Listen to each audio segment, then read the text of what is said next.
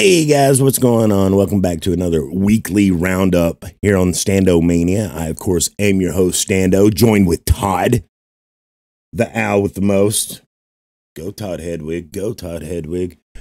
Guys, I'm I'm looking into if there's a way to do this show on a more regular basis uh, than just once a week. Because as you know, once a thing happens here on the internet, its relevancy is short lived. So if it's possible to do it more than once a week, I'm I'm, I'm going to try to do it right, uh, and let Golden Knight work on other stuff.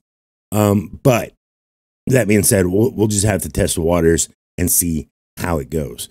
Um, before we jump into the news, though, let's talk about the games that came out last week since we didn't do a weekly news segment last week. RPG time. The Legend of Wright came out on the Xbox Series X and S, Xbox One, PC, iOS, and Android. Came out March the 9th. Ashwalkers came out to the Nintendo Switch on March the 10th. Aztech, The Forgotten Gods, it came, it went everywhere. It went to PlayStation 5, Xbox Series X and S, PlayStation 4, Xbox One, the Nintendo Switch, the PC, on March the 10th. Chocobo GP, which is, uh, wow, a, a, kart racer set in the Final Fantasy universe. It, it, made its way to the Nintendo Switch March 10th.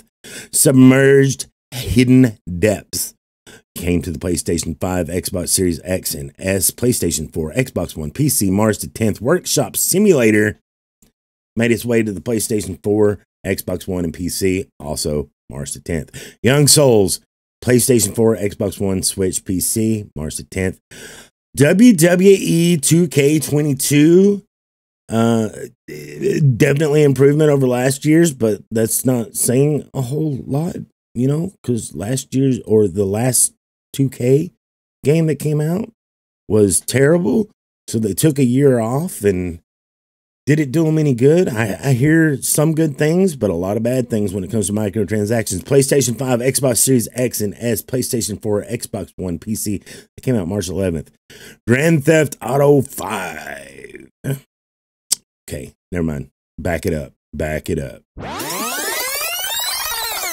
Now let's talk about that news, that precious news. And one of the biggest stories to come out this week is how Ubisoft developers are like ripping Elden Ring for its minimal UI design, uh, which, you know, these games have always had minimal UI.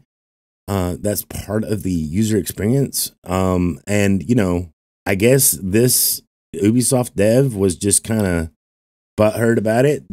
But that being said, there was a Horizon uh, developer that was actually butthurt about the uh, quest design in these games. Um, maybe instead of, you know, criticizing a game that's doing its own thing and being well received by the public, uh, maybe you should look at your game and find out why people aren't 100%ing those games. Maybe there's too much stuff to do. Maybe it's too formulaic. Maybe it holds your hand a little too much. Uh, you know, maybe the game wouldn't be so long if there wasn't a three hour intro uh, that being said, uh, a Reddit user named Gambuzino posted a heavily photoshopped image on March the 5th of Ubisoft's Elden Ring and what it might look like using an Ubisoft like UI. And my God, is it a mess, bro? It is a mess. Uh, if you're looking for that tweet, it's at Alex DNZ. Um, oh my God. I mean, it's got text everywhere. The mini map's super huge. It's got all these items across the bottom of the screen. I mean, it looks it, it looks ridiculous. Press A to jump. You know, it looks typical Ubisoft fanfare for their games. The, the shit that everybody wants to turn off when, when they boot up an Assassin's Creed game. So, uh, yeah. Worry about yourself, Ubisoft. You're in no position, you know, making fun of somebody else's game when you turn out the same game, I don't know, 1,000 times. And I mean, how many towers have we climbed now, guys, just to unveil more icons on a, ma- a map at this point? Really? How, how many more mountain towers, circuit breakers that you're going to flip on top of an antenna array just to unlock new points on a map? Uh, it, it's it's kind of ridiculous, bros. It really is at this point, and it's so formulaic. I mean, it, that it's not just Ubisoft that does it. You know, I complained about the same thing in Far Cry. Uh, it's arguably one of the the worst parts of Horizon Forbidden West. Even though I really love her Horizon Forbidden West right now, it's a it's a great game, but you know that stuff's still in there. Assassin's Creed Valhalla, I love that game. That stuff's still in there. Uh, and that's the the most meaningless stuff that I want don't want to do. Like I want to do the quest, the main quest, and the side quests for those games. But everything else, all the collectathon shit and all, all the all the wacky stuff that they put in their game, I have no interest. A lot of people don't have interest. And then I get, you know, grief by Tech Gladiator. Why aren't you 100%ing the game? I thought you liked that game. I do like that game.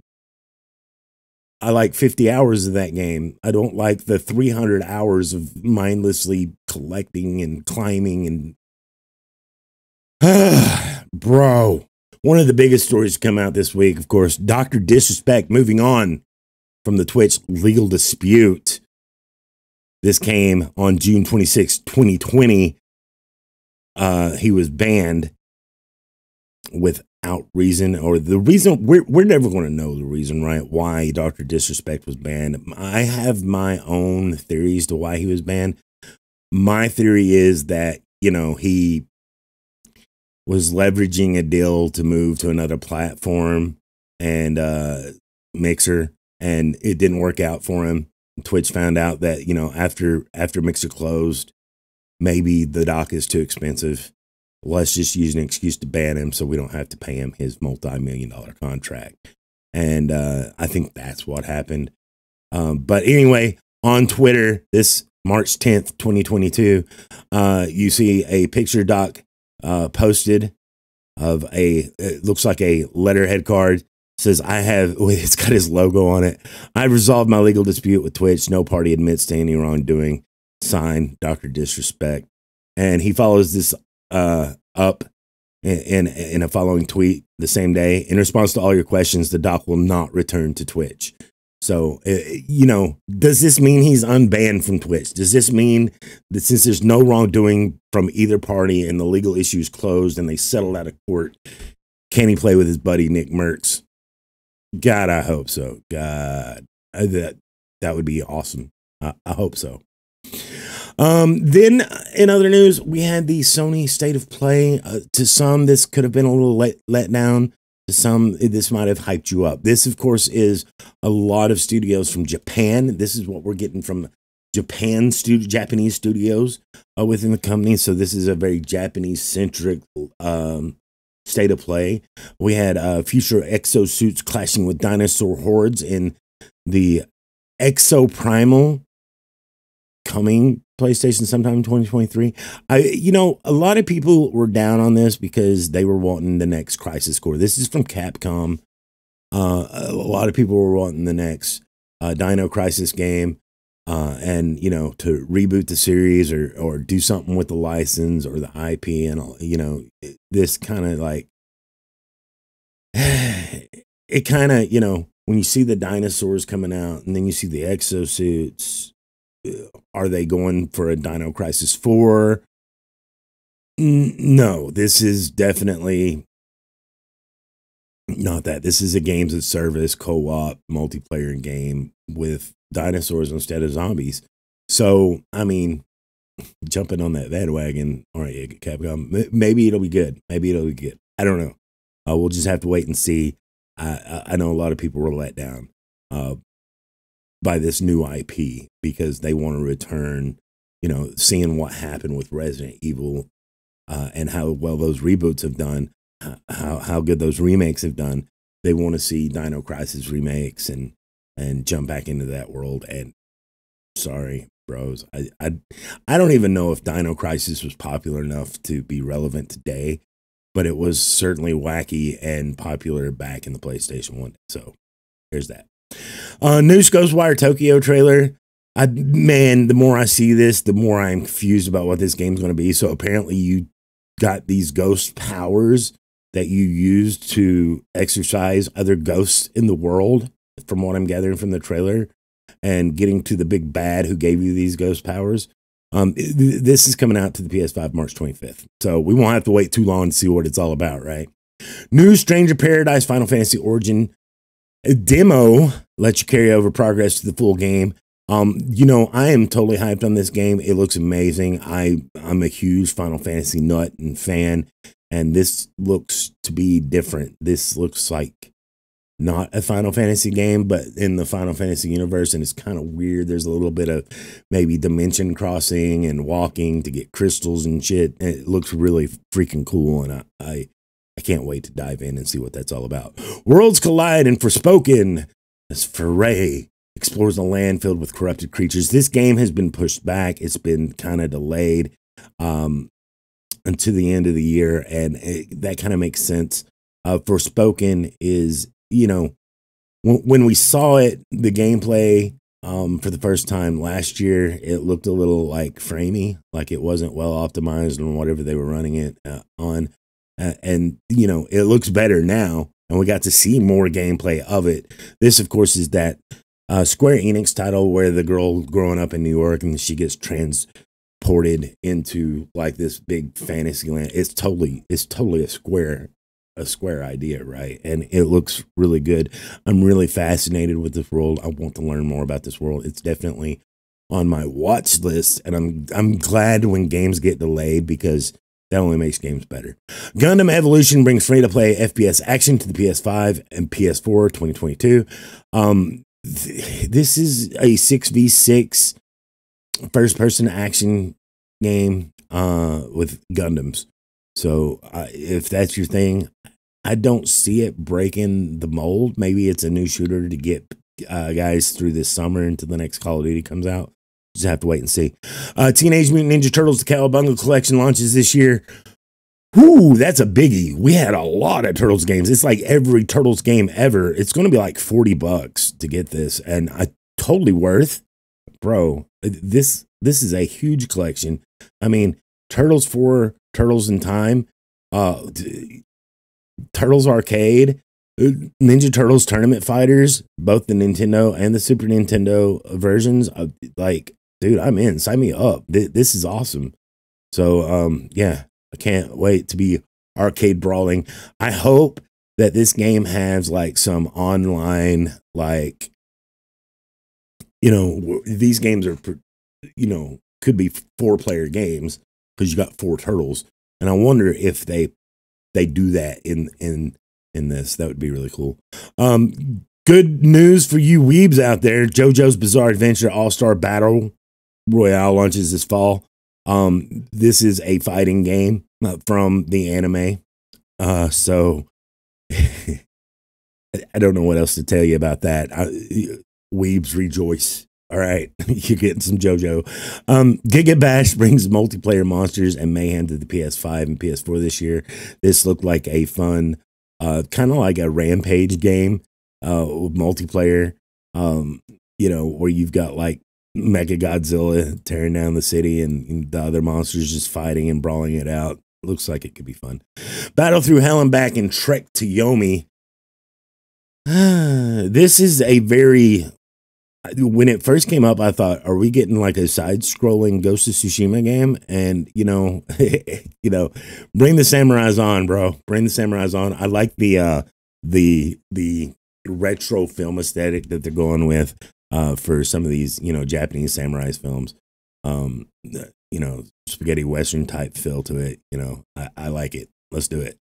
Returnal Ascension update. It's going to add co-op and a whole new tower of Sisyphus mode. Uh, it looks pretty cool. Uh, that's going to be a free update too. So you know, for free, Ascension is adding co-op, or Returnal Ascension is adding co-op and this whole new area to play through with its own new story and stuff. That's really cool when companies do that and they hand it out for free. That's like super love letter. Thank you for buying our game and taking a chance on us. It was a new IP and uh, it was well received. It's, it's cool to see uh, free updates like that come out. The Dio Diofield Chronicle uh, announced for the PS5 and PS4. This looks like a love letter to Final Fantasy Tactics a lot of people thought it was Final Fantasy Tactics when it first came on, including myself. And uh, well, Looks like it's definitely a love letter to that without being that. So it's Final Fantasy Tactics without being called Final Fantasy Tactics. I don't know about this name though. This name is terrible. The Diofield Chronicle or the Diofield Chronicle. Like, what the hell? Like, you could have just called it Final Fantasy Tactics. With every Final Fantasy, you know, entry being set in its own universe, why not just go Final Fantasy uh, Square? Why? Why? Anyway, Valkyrie Elysium. Uh, this is the next chapter in the Valkyrie saga. It descends onto the PlayStation 5, PS4, 2022. Um, so yeah. hey guys, that's what happened in the state of play, right? So let's talk about the games that are coming out this week. Starting off with Grand Theft Auto 5, which is going to rock its way on to the PlayStation 5, uh, Xbox Series X and S March 15th. This is the next gen iteration.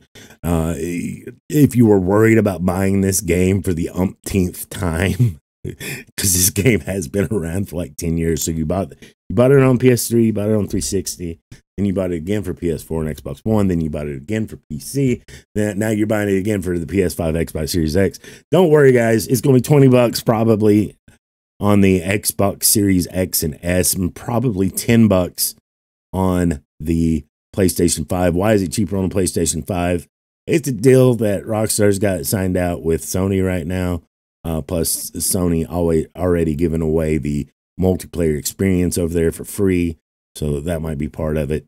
Uh, part of the deal is you get the multiplayer for 10 bucks, you get the single player for 10 bucks. That's how we're valuing our game. So Xbox not getting that deal, so they got to pay full price which right now is 20 bucks. At least you're not paying 70 bucks for an updated version, okay? That's what I'm getting at, bros. at least it's not that. Hey, Phantom Breaker Omnia. Omnia? Omnia. Is it is it Omnia? Okay. Todd says it's Omnia. Phantom Breaker Omnia comes to PlayStation 4, Xbox One, Switch, PC March 15th. The Cruel King, not the Cool King, the Cruel King and the Great Hero comes PlayStation 4, Nintendo Switch, March 15th. Oh, bros. Paradise Killer, which is a, a really cool name uh, for your game. Paradise Killer. Comes to PlayStation 5, Xbox Series X, and S, PlayStation 4, Xbox One. I don't know much about this game. I can see it, you know, probably set on an island in Hawaii and you're, you know, there's a serial killer running loose or something. I don't know. Uh, well, we'll have to look at it and and see what it's all about. Tunic comes out to the Xbox Series X and S, Xbox One, PC, March 16th. And then you've got Anno Mutationum. Mutationum. Anno Mutationum comes to PlayStation 4, PC, March 17th. Some of these names of these games these days, guys. Monster Energy Supercross 5 comes to the PlayStation 5, Xbox Series X and S, PlayStation 4, Xbox One, PC, March 17th. Persona 4 Arena Ultimax comes to PlayStation 4, Switch, PC March 17th. Shredders comes to the Xbox Series X and S and the PC March 17th as well. Stranger of Paradise Final Fantasy Origin. This is the one that I've been waiting on, guys. Uh, I want to dive into this and see how badass it's going to be. Comes to PlayStation 5, Xbox Series X and S, PlayStation 4, Xbox One, PC, March 18th. Uh, that's all of the news I got for you guys uh, this week. Uh, again, if I can try to do this on a more daily basis, not necessarily the, the, the game announcements, but the news on, on, a more daily basis so that at the end of the week we don't have as much to go over. I'm, I'm going to try to do that and, and give uh, my friend Golden Knight something else to work on, right? Something, you know, maybe a top five video or something. So, or, or those hidden topics, those those bonus topics that we don't get to dive into very much. Maybe we can do something like that and give him something else to work on. Um, because you know the relevancy of the news depends on the news arriving to you promptly, and I feel like once a week we're not getting that as we're getting it done just not as done as I would like it to get. Okay. Anyway, guys, uh, we'll we'll look into it and see if it's possible and feasible. I love your faces, guys. I really do. And we will catch you guys maybe next week. But definitely over in my Twitch stream. If you go over to twitch.tv slash stando, I promise you can see my, my lovely face playing video games five days a week. Hope to see you there. I love your faces, guys. Have a good one. Bye bye. Bye bye.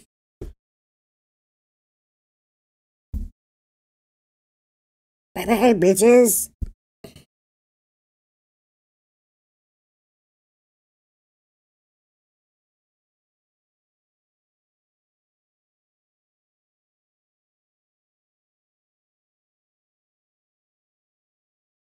Could have said bros instead of bitches. Man, you didn't have to be so rude.